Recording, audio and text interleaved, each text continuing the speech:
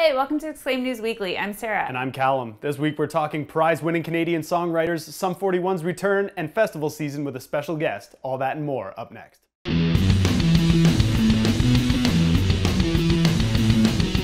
Festival season has arrived again, and Calum and I here got our first taste of it a couple weekends ago literally, I think we both probably drank a couple liters of water during the storm that ripped through Field Trip, but we survived and we're just getting started. Of course, there are plenty more festivals to come, with Edmonton's Up and Down Town Festival, Toronto's Turf, and Camp Wavelength all announcing lineups. You can head to exclaim.ca for all the details on those, but for now, we have a special guest here who knows a thing or two about a good live show.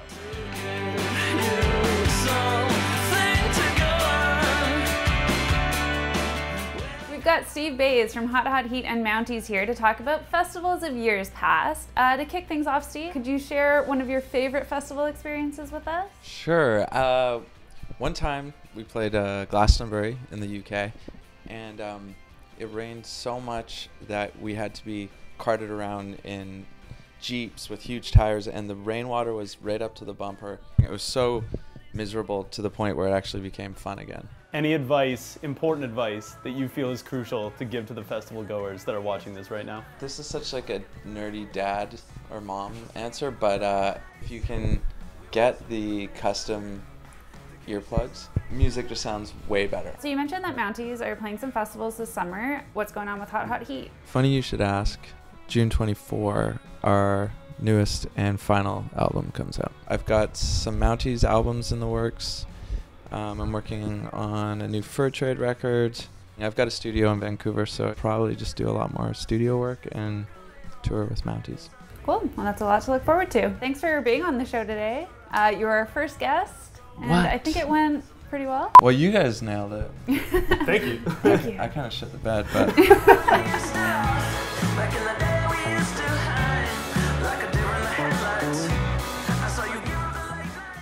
Steve's not the only one for Mounties who's up to something. Ryan Dahle's band Limblifter are set to celebrate the 20th anniversary of their self-titled debut album. The band will roll through Ontario, Manitoba, and Saskatchewan with more dates expected to come, and you can get all the details and updates over at exclaim.ca. That's also where you can watch the video for Limblifter's Hotel Knife, which was directed by none other than Steve Bays.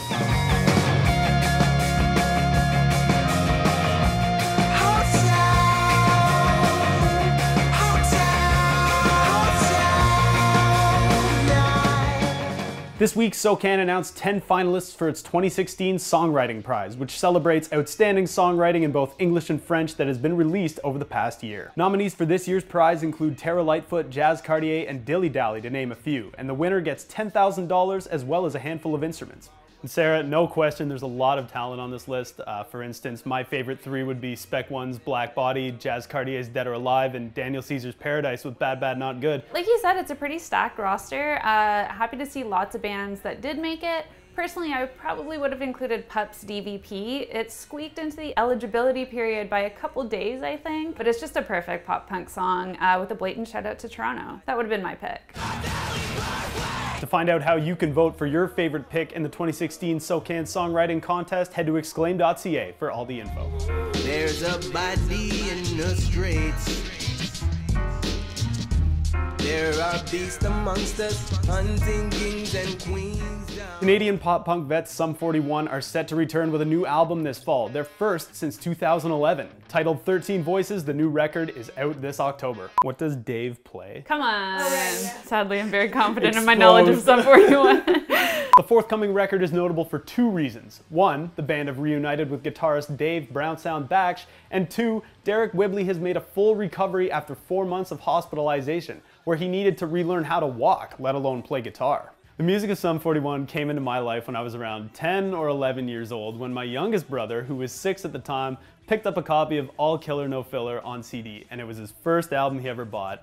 And when we were younger, mom and dad used to let us pick the dinner music that we ate dinner to as a family. And so here's my little brother playing All Killer No Filler at dinner while we're trying to sit around the table and eat a wholesome family meal to Fat Lip or Motivation. Better than Does This Look Infected? and I have been a fan ever since.